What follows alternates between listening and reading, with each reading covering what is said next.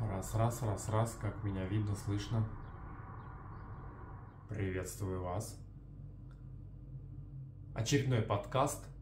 Поехали. Сегодня поговорим про ролики, про всякие новости, нюансы. Будет интересно, не переключайтесь. Самый частый вопрос, который мне задают, почему я снимаю вертикально, а не горизонтально. Все банально. Я делаю потом шорты с этих роликов и выкладываю их в отдельные вкладки. Обязательно проверь на канале вкладку Shorts. У меня там уже почти 50 роликов и еще где-то 20 загружено. Кстати, я открыл телеграм-канал.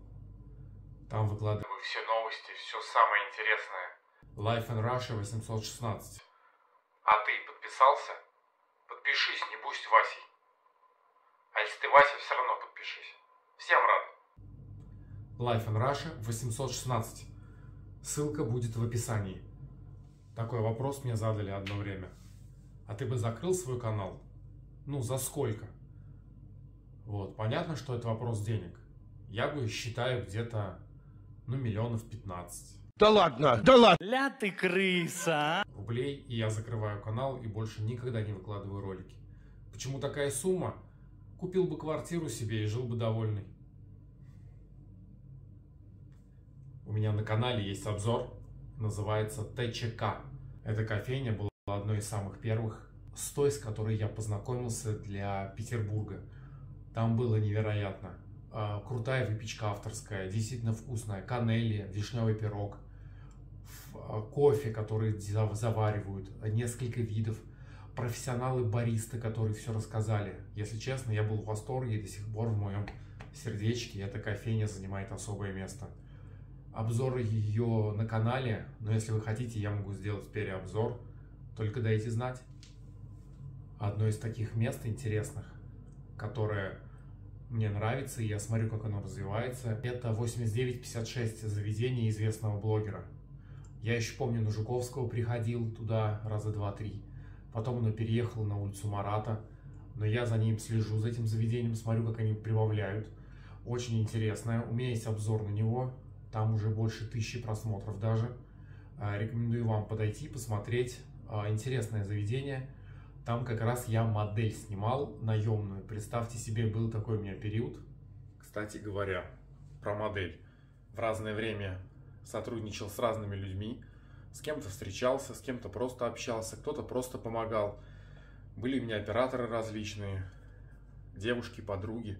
Вот, кто-то был рукожопом, кто-то был хорошо кто-то хорошо снимал, и мне понравилось. И вот как раз модель, которая за денежку снималась в моих роликах, э, в целях безопасности не буду говорить ее имя, а она на канале у меня есть, как раз вот 8956, она там снималась. Забавный опыт. А вот. В итоге пришел к тому, что все-таки снимаюсь в большей степени я. Если уж мы говорим про операторов и кривые съемки, есть у меня один ролик на улице Черняховского, снимали «Оптимист». Там как раз классический пример того, когда ну, человек не совсем компетентный. Не буду говорить про имена и фамилии, но просто оставил себе как напоминание про то, как можно криво снимать. И я запомнил это на всю жизнь. Что если приглашать, то только хороших профессиональных людей, которые в этом разбираются, ну или, по крайней мере, у кого есть понимание, как правильно снимать и как правильно ставить и видеть кадр. Это важно. Хотя мелочи вроде кажется, но нифига не мелочь. А, есть очень много интересных заведений, мыслей у меня, что воплотить.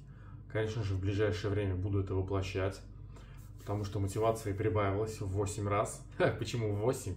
Потому что раньше было 200 подписчиков. Я еще помню, как 210 подписчика сам подписывал девчонку, а, Мария, по-моему, звали ее, а, на обзоре самых дешевых пышек. Не поверите, вот лично к себе людей подписываю на канал, участвую в их сторис.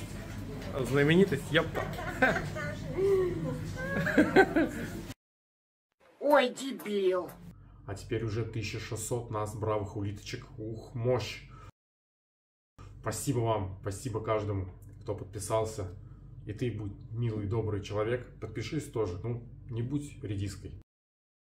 Планы какие? Интересные заведения разные, шавермы, вкусные, невкусные, какие-нибудь, может, трэш-обзоры. Конечно же, куча заведений, которые реально просто переворачивают ваше сознание. Я могу назвать несколько из них, э, которые хотел бы снять. Конечно же, это Фрэнк Бай Баста, знаменитая сетка, это от знаменитого Басты, э, певец.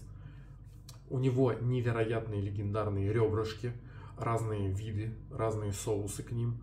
А также есть заведения, которые просто наполняют себя атмосферой эпатажа, дороговизны, роскоши. А, заведения, которые, ну, придя в которые ты не будешь, конечно, каждый день там кушать, но придя в которые ты почувствуешь себя фешенебельным аристократом. Возможно, кому-то это будет интересно. Например, заведение Gods, боги переводится, Eclipse. Это тоже ресторан почти мишленовской кухни в центре города на Невском с Малой морской или Большой морской проспекте в центре, в центре прям. Есть такое заведение Minerals. Очень сильная у них барная стойка и вообще очень фешнебельная. Я бы его с удовольствием хотел снять, если доживу, конечно, до этого. Потому что там довольно дорого. Просто зайти туда хотя бы пару-тройку коктейлей или что-то заказать, это минимум, ну там, 3-5 тысяч.